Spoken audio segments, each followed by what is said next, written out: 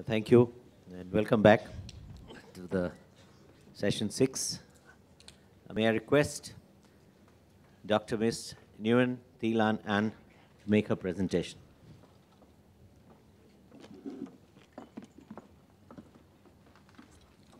It's on. Uh, that's forward and that's back. Thank you, Mr. Bo- Moderator. Ladies and gentlemen, distinguished participants, first of all, um, allow me to express my sincere thanks to um, the Chief of Indian Navy Staff, um, Admiral Singh, uh, Vice Admiral Chauhan, for inviting me to be at the very prestigious uh, regional dialogue on Indo-Pacific today. Uh, I was given a topic to discuss on cooperative regional solution to address the disruption of the maritime uh, rules-based order and uh, first of all, I'd like to um, briefly touch upon the cause to cause the disruption. Um, perhaps for my uh, personal opinions, there are three main causes that cause the disruption of the maritime rule-based order. The first and foremost is the exercise of power to arbitrarily interpret and implement international law. Second, it is a lack of effective enforcement mechanism that to somewhat extent tolerate the violation of international law and allow the um, violation of international law repeat again and again. And the third cause, I believe that is perhaps is implementation of the gray zone tactics.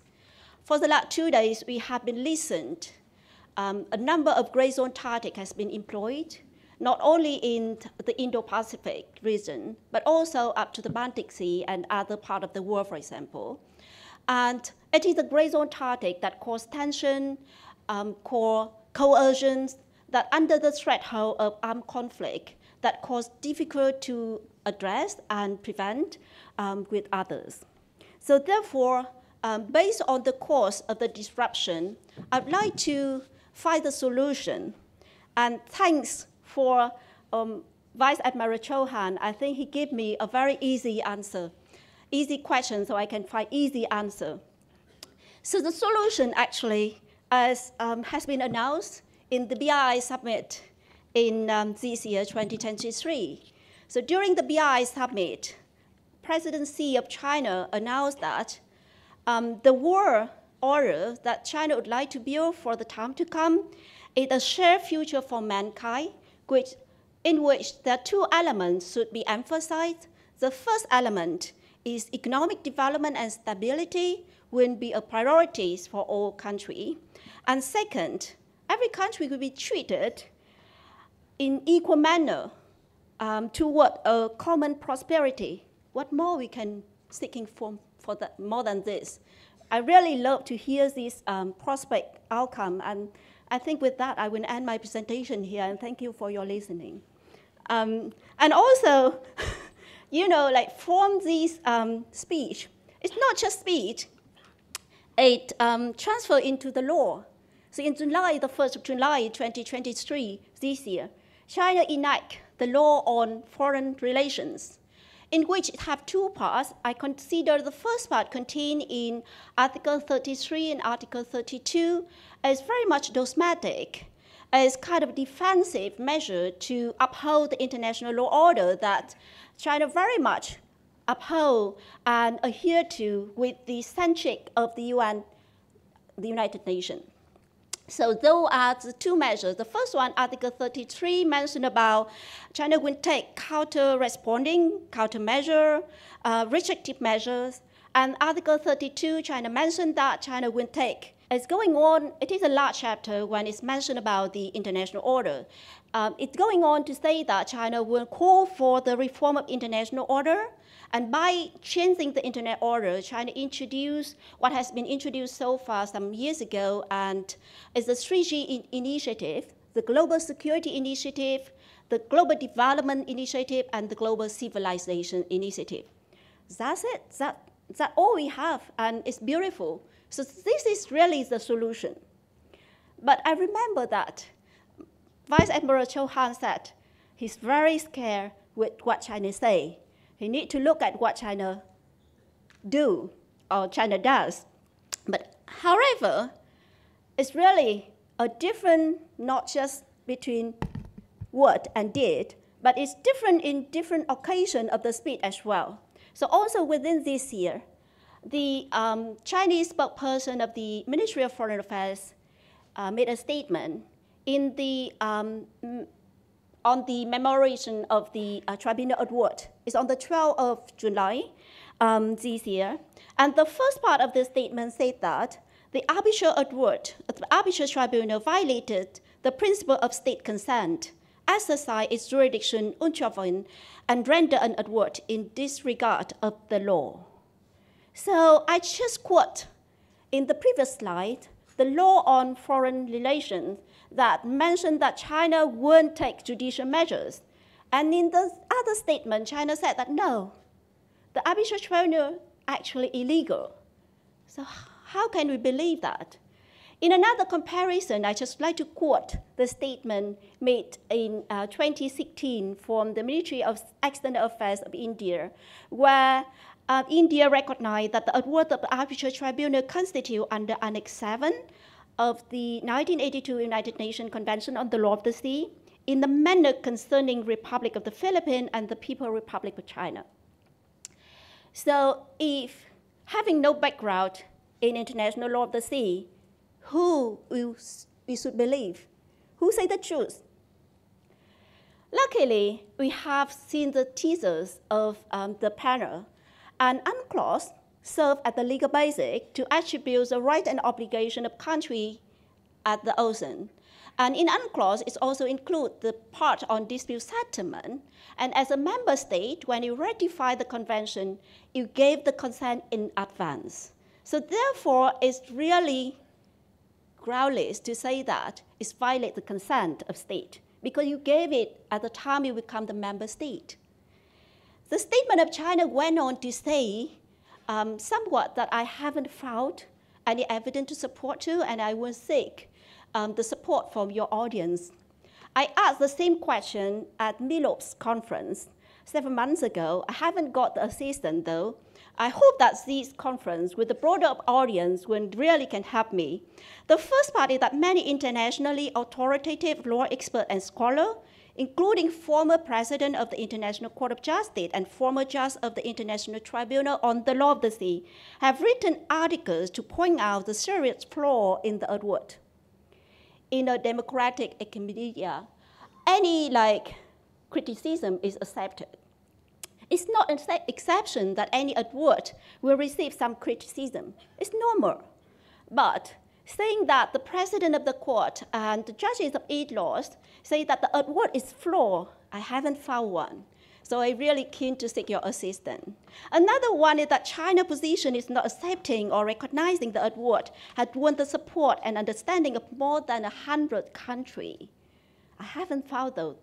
It's a long list and I haven't filled in the list by myself, so I really seek your assistance again.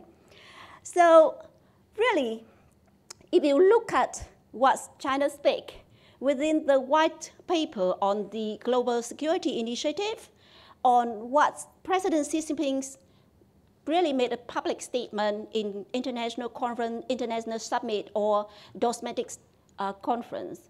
It's really different from what China adhere, so-called adhere to international law.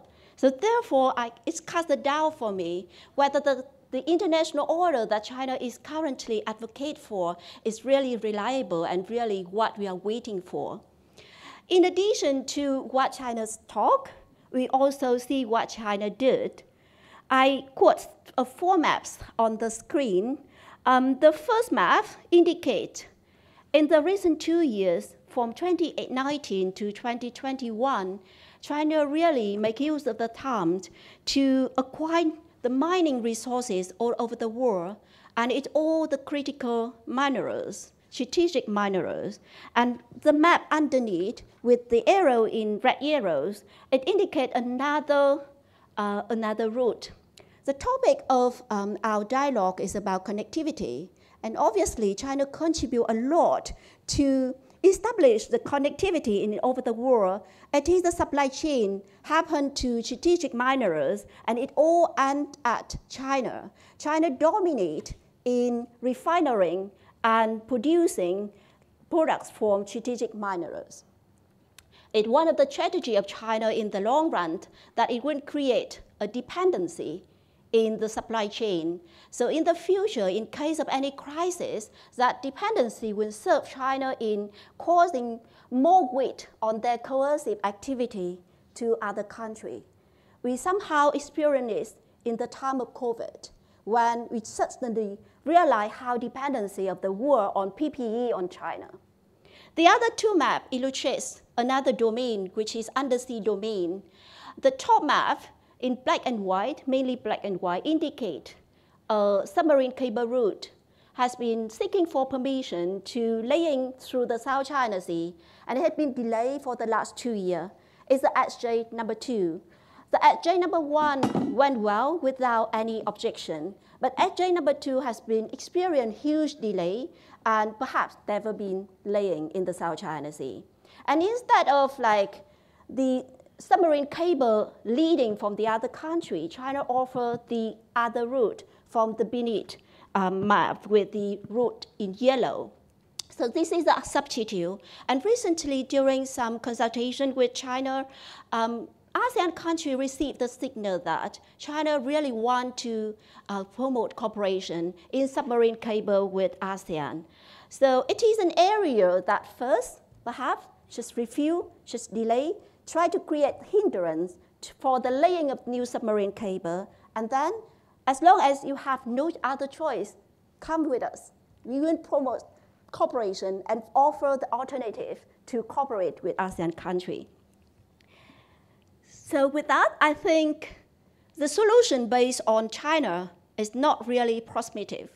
And therefore, um, I tried with my humble recommendation to promote to propose some other solution. And that solution was based on cooperative prisoner solution. The first one, um, thank you so much for my um, first uh, panelist that already outlined details of the MDA's solution. So this is really, if you have gray zone tactic, you need to shedding the light on the gray zone tactic, bring it into light, and the best way to bring the gray zone tactic into light is that sharing information, have other understanding the maritime domain awareness. But I would like to use the word cross-domain awareness because nowadays everything connected. It's no longer just maritime only. It's connected to the air domain, the undersea domain, not only physical domain, but also cyber and outer space. So it really is a cross-domain awareness. In order to identify who is a lawbreaker, where the law is broken, we need to know what happened. So therefore, in the one hand, we need to share the information that we have. No one knows everything at every time. So therefore, sharing is save time and effort for us. In addition, with the times of technology and information, it's easy to be surfer of disinformation. So therefore, counter misinformation is another strategy that we need to think about. And the map I'd like to share on the screen actually the map in, in March, where China would like to conduct some marine scientific research throughout the Indo-Pacific regions. So all the lines indicate the area that China would like to conduct the missions. It ranges from the Indian Ocean, the East China Sea, the South Pacific, and even broader. So therefore, we are living in really a connected region in the vision of China comparing note, comparing information actually helped in knowing what is the gray zone tactic is employing and therefore helped to have a collective response later on. The second recommendation is that we'd like to promote the interpretation and implementation of international law in good faith.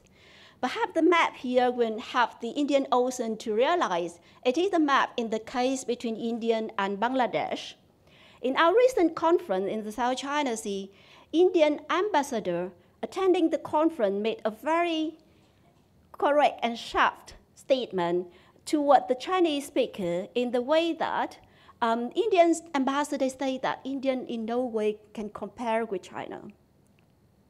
Because China um, refused to comply with UNCLOS, whereas Indians comply the UNCLOS and give up thousands of square kilometers of EEZ to Bangladesh. And this case is just named as a few of the regional practice to use judicial measure to interpret and implement international law. In our region, we also have the case between Singapore and, Indone- and Malaysia, Indonesia and Malaysia. We also settle our maritime dispute via negotiation. The recent maritime delimitation uh, conclusion between Vietnam and Indonesia, for example, and between Indonesia and Malaysia is all the good practice that I do hope that in the future, as long as the country believe that it is a good way to address the lawbreakers, then we can promote further practice to use either diplomatic or judicial mechanism to tackle with implementing or interpreting international law in good faith. Third, as we are on the panel on legal, legal order, we are talking about connectivity and all the sectors are connected with each other. In order to promote the implementation of the rules-based order, we need the capacity to enforce. And that capacity to enforce will come from the integrated deterrence based on security, economics, and technology. Perhaps nowadays, with the changing quickly of technology, with the new gray zone tactic, with many new conflict tension emerge in the world, a time for re resilient. And resilient here, I'd like to call for the supply chain. The supply chain need to be more strategic. If you recall the map that I showed before, where China make use of the time to acquire the mining resources on, in over the world, China itself cannot have the domination. It also needs the contribution from the other country. Many of them come from the south. And if we think twice, we connect the, into the supply chain more strategically, then we will have better capacity. And also the capacity building have been taken for a long time in area of like training, handling the hard assets, nowadays with the technology is really for the time of soft asset. The asymmetry differences between the resources from China make a country no way in compete directly with China. But if we use technology, we use of other capacity combined together, then it's, there is a chance. So therefore, in addition to resilient, I also like to call for the building capacity in some new area.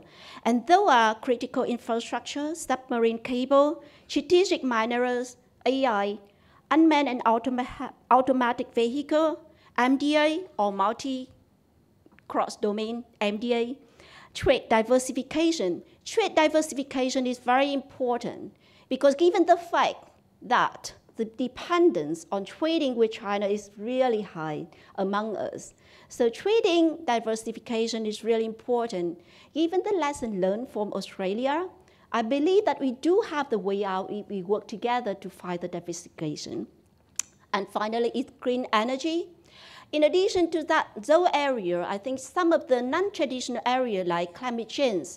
In the first day, we listened to Cleo when Cleo mentioned about climate change, it's actually a very convenient topic to promoting cooperation.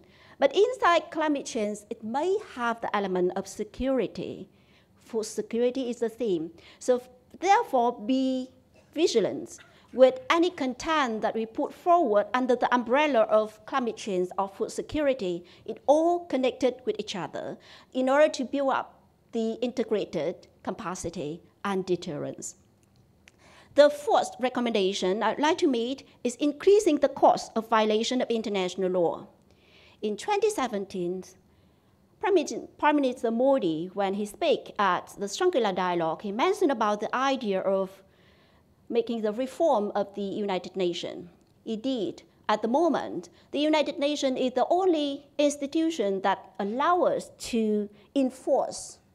However, with the unbalance with oversight of the Security Council with the veto vote, it allows some big power easily to walk away from their violation, and we can't find a way to enforce any countermeasure collectively. So therefore, first is to reform the global enforcement mechanism of the UN. Second, why waiting for such a reform, which may take a long time?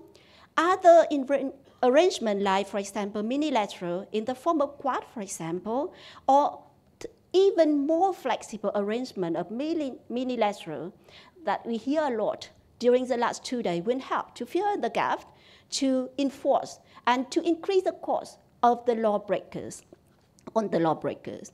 And finally, um, really, as collective, if I re- recall my memory right, in the speech of the vice president in the first day, he said that the most important is to coordinate between sovereign nations. Really, building a collective and effective response to violation of international law will carry out much more weight than individual response. China really love the policy of divide and conquer. So therefore, if we stick together and send a collective message, China may think twice, and other lawbreakers will need to think twice of the cost that they will have to suffer if they broke the law. And it is a way of upholding the rule-based maritime orders. So with that, I would like to end my presentation here and waiting for the question and comment later on. Thank you.